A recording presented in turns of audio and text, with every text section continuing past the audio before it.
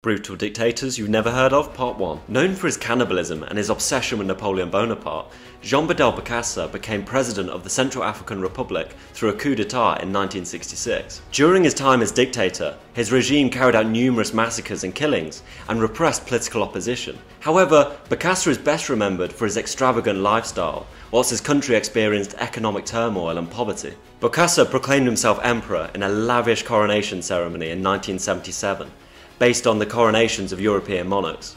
He even placed the crown on his own head, just as his idol Napoleon had done 150 years previous. The coronation ceremony cost $20 million, about $100 million in today's money, or one third of the country's annual budget in 1977. This extravagance and his brutal regime would come to an end under two years later, when French backed rebels would overthrow his government and place former President David Dacko in power whilst Bokassa fled to Paris to seek political asylum.